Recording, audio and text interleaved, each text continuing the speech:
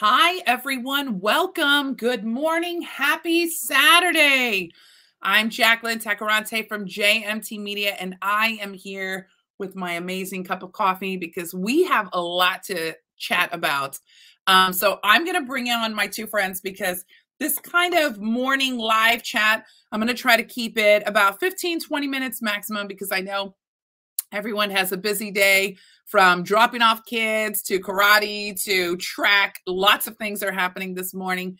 And so I just wanted to have a conversation, you know, open dialogue. One of the things that I love about Staten Island and being in business is when there's new technology, new innovations. I love making sure that all of my friends know what's going on. And so if you're tuning in to JMT Media or you're tuning in to Canvas Institute, or you're on Vince MacDermot's page or Jaclyn Tacoronte's page. Um, we hope that you walk away with some gems of upcoming art exhibits that are happening, along with some new innovative technology that's coming to Staten Island. This is like a first. This is a first time, so it's a pretty, pretty huge deal.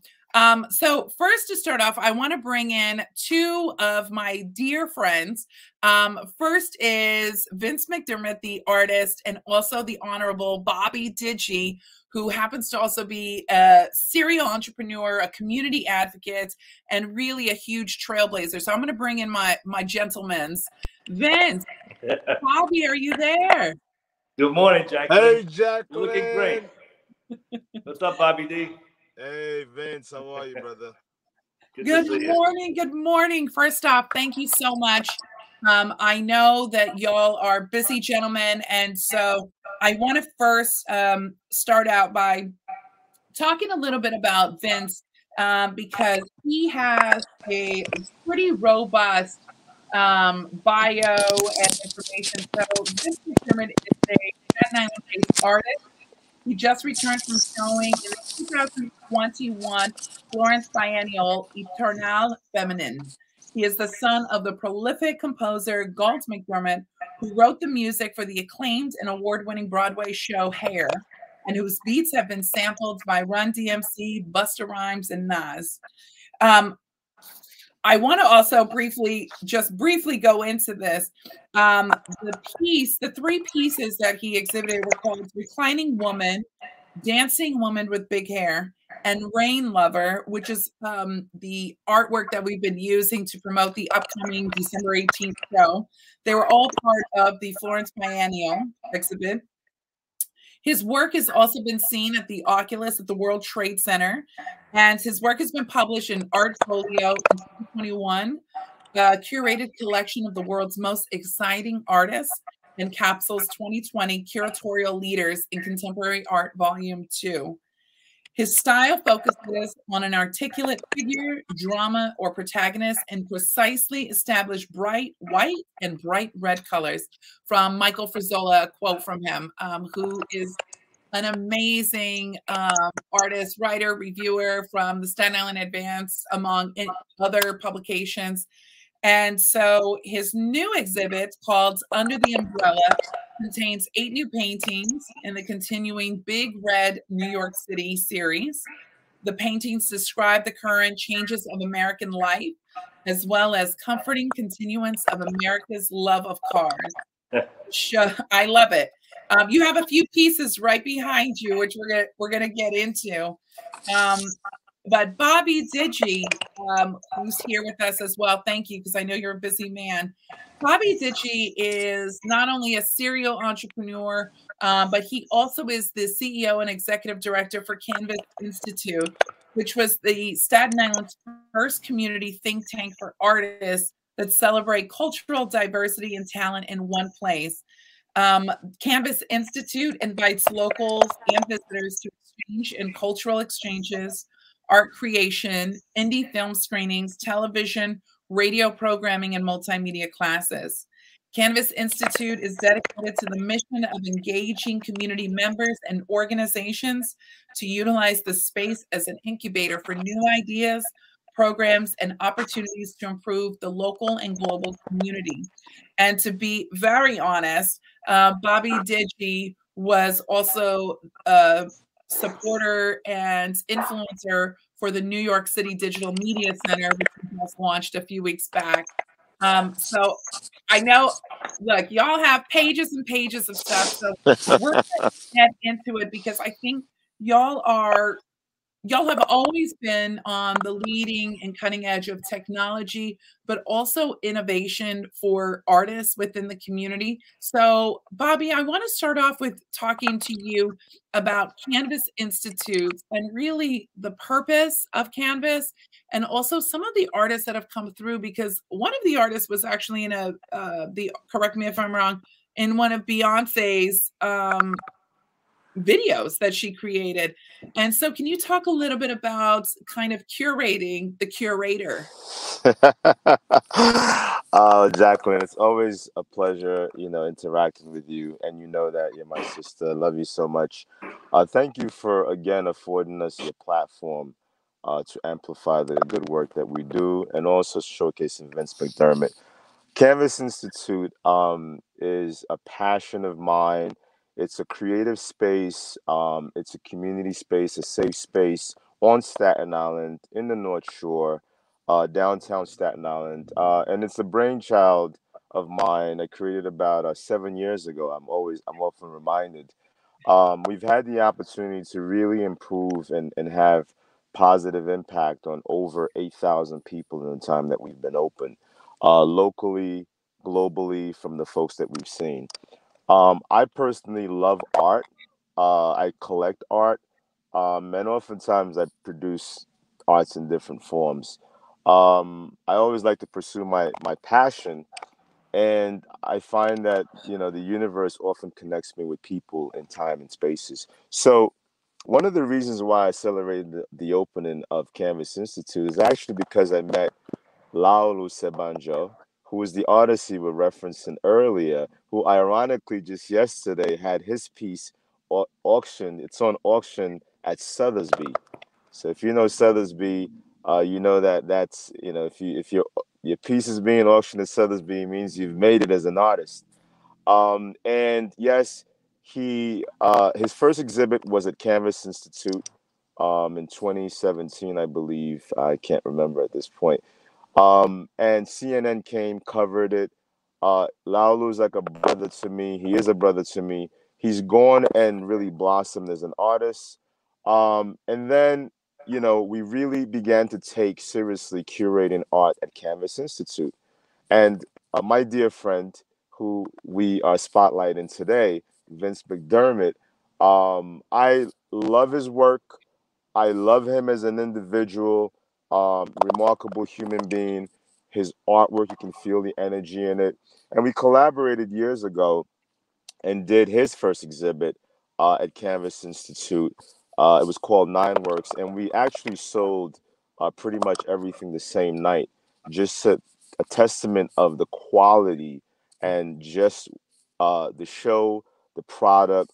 Um, and this is our second, I believe, third effort um, at that. We were just together in Italy, and um, so Canvas is, Canvas Institute is a space where artists, emerging artists, can really get an opportunity um, to to to test the water uh, with their artwork, with community, and and more importantly, now uh, Vince and I are you know we we jumped into the and I don't know if I should go into it now, but into the NFT world um, as that is exploding and it's a place for artists. So, in line with Canvas Institute, what we've always done, being innovators in the community, um, we are bringing NFTs via Vince MacDermot's work to Staten Island, New York.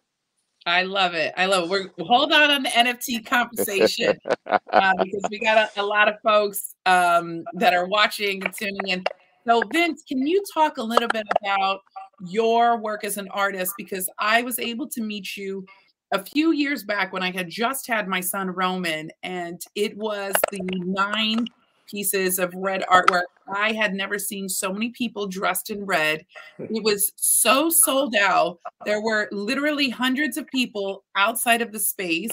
Um, it was just a really interesting, cool vibe and scene. And it reminded me of when I lived in Austin, Texas. Um, but it was really because of your work, um, your design aesthetic, your um, figures that you select. So, can you talk a little bit about your work itself and how it's evolved? yeah. Hi, you guys.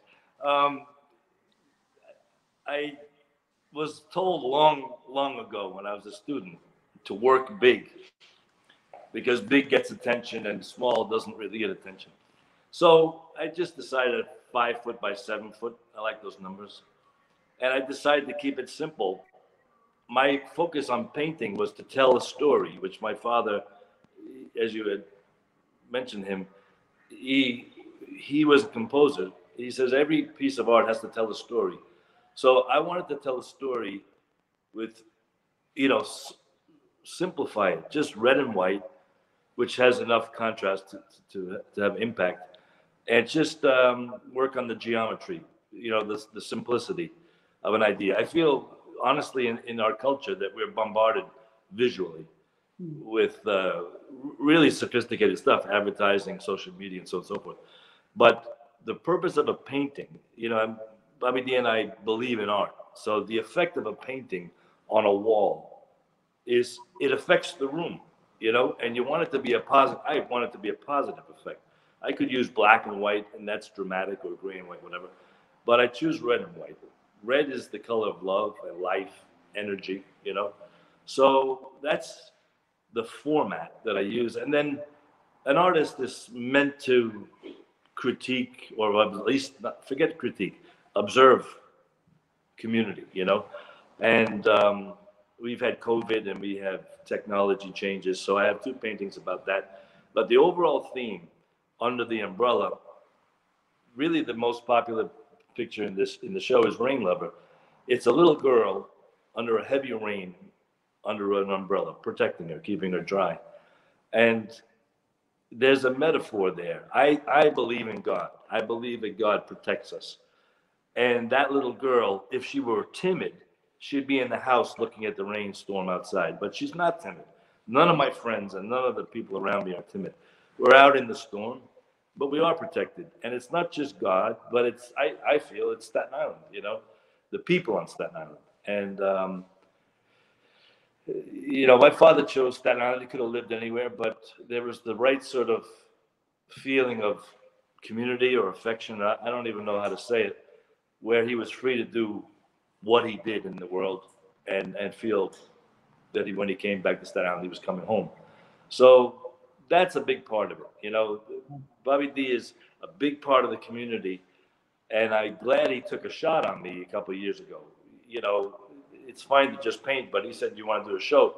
Well, if you do a show, you're on stage, you know. So one thing led to another, and here we are. But um, it's been a very good it. friendship and a very good collaboration. I love it. I love it. And as we're talking about community and digital, what I want to do is I want to actually share the screen here. Um, so for those of you that are tuning in, this video um, this live stream is also going to be turned into a podcast. Um, so you won't be able to see it because you'll be listening. But for those of you that are tuning in to Facebook this morning, if you actually go to Vince MacDermot's website, um, right on his homepage, he has his exciting series called Big Red NYC. And many of these pieces have been sold um, but then there's the new pieces, which is part of the new exhibition. Um, so this one in particular is called Rain Lover, um, which is what we were discussing. And this is such a beautiful um, piece. I find it very tranquil and calm. Um, so I'm looking forward to seeing this live. But um, as we're talking about, you know, community and we're talking about outreach efforts, when, and I want to have a full disclosure.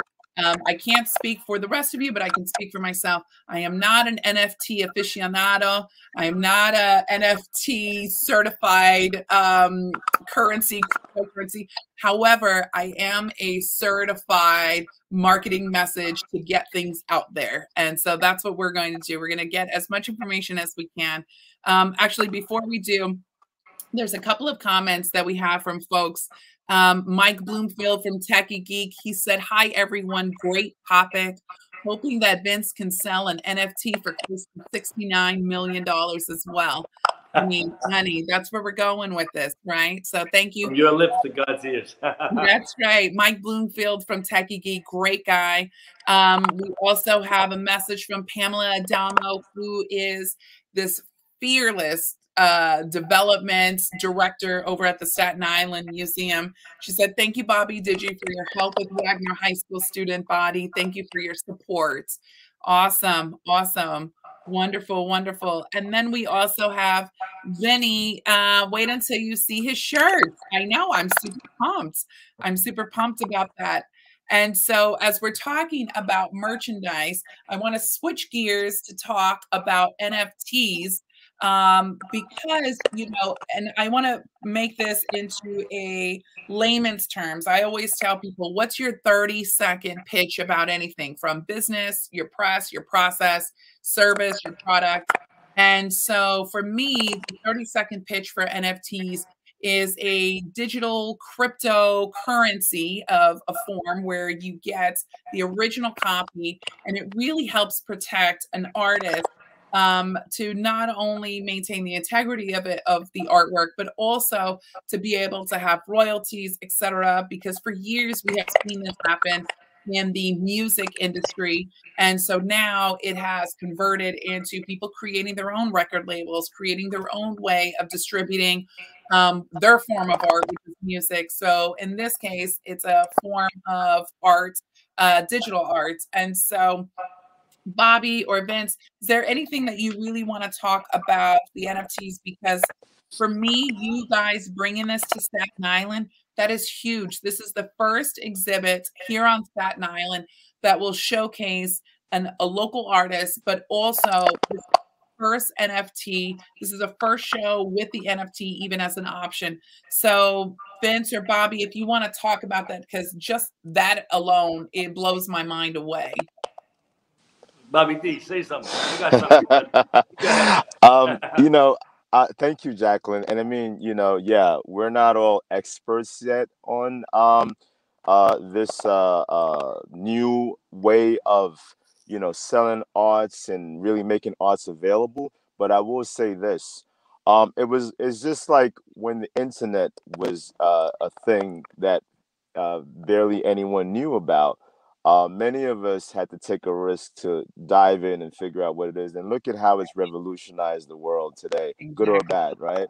So with um and, and and someone who had been in the record label i mean record industry many years ago there was one of the reasons i left the music industry i took some time off was because i i really was against um the the way that industry was ripping artists off and musicians with masters um, and so on and so forth. I always allowed my artists to do whatever they wanted. In the same way with these with this NFTs, it gives the uh, creators and the artists equity in uh, their work. You know, it allows them to control the ownership and the masters, and I think that that's the way the world should go. Mm-hmm. So, you know, part of what I said to Vince earlier is like, God, we got to get involved with this NFT thing and you know he connected uh, with with uh, creators of NFTs, and we are learning our way through it. Yeah. But I will say this: NFTs are um, uh, on on on blockchain. Uh, it gives the artists the ability to retain ownership of their work and actually also collect uh, a form of royalties uh, through the work. You can track um, the sales of the work you can also uh, exchange the work. So it's a whole new medium that's allowing for the business to expand beyond physicality. So it's a digital space that allows you to uh, have digital ownership. And you know, mm-hmm. everyone's talking about the metaverse, whether you hate or love it. Uh, it is a space now where there, there people are actually buying real estate. And I've heard recently there's about a hundred million dollars worth of transaction in the metaverse.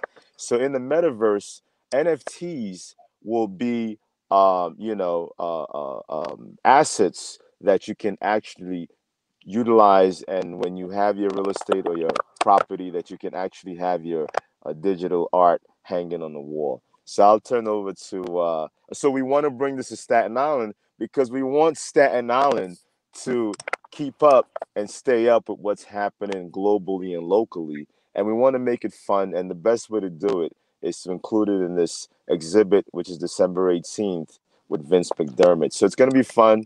Um, and we're opening it up to the world. Vince, over to you. Yeah, the, the in order to be successful in anything, you have to be aware of what's happening around you. What's happening around us, the next generation, our kids, you know, they're into what we found new.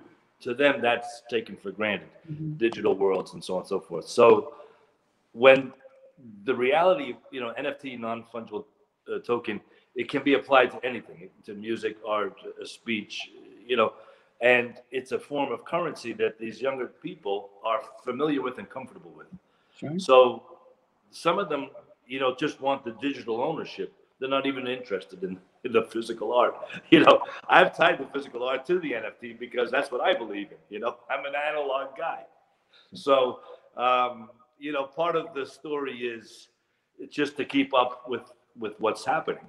You know, there's an audience that operates in this world of thinking that is they are the future so we have to participate and that's how we're doing i love it i love it you know one of the things that i think it's important is as we're wrapping up and posting links um, you know the first thing that people say is where do we go what do we do how do we even sign up for nfts and even for myself um, this week alone i signed up for my first nft um, and signed up, created an account through, and I'm going to share my screen here.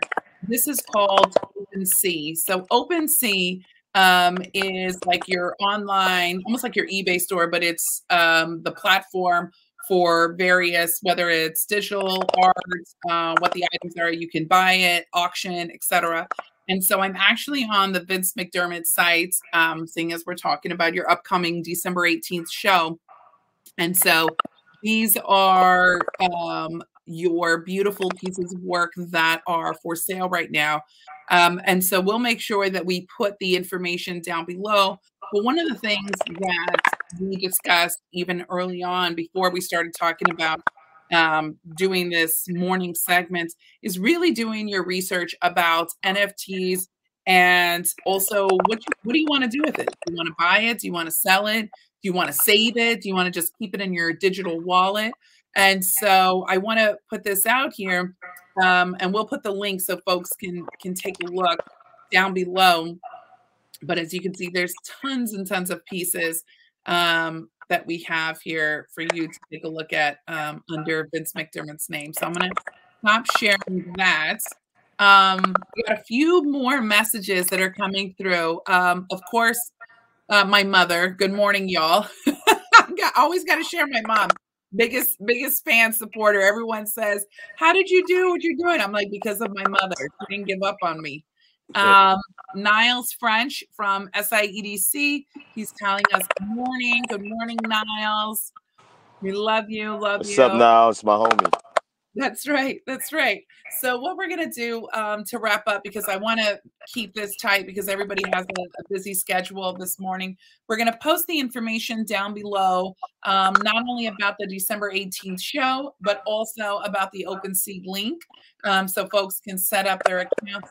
We encourage you to do your research um, because we are not a financial analyst um, and you have to understand the basics of what the NFT means, the currency, and then also what your wallet means. So we encourage you to also take a look below. We're going to send some links and post some links. Um, but Vince, the Honorable Bobby Digi, thank you so very much this morning to really talk about this innovative technology that you're bringing to not only to Staten Island but to the artist community. And so I think that this is huge. Like for those of you it's that big are deal. It's in, a big deal. This is a really, really big deal. You know, new administration for New York City. Everyone's talking about it, and it's great to see that Staten Island is not the forgotten borough. Staten Island is forging on technology, and so we're really excited that we're able to bring this little Q and A session, and we'll have more of these talks later. for those of you that are tuning in, thank you so much for taking the time to join us. Bobby and Vince, if you just give us one second, and everyone have a great rest of your weekend. Thanks so much, y'all. Thank you, Thank everyone, you. for tuning.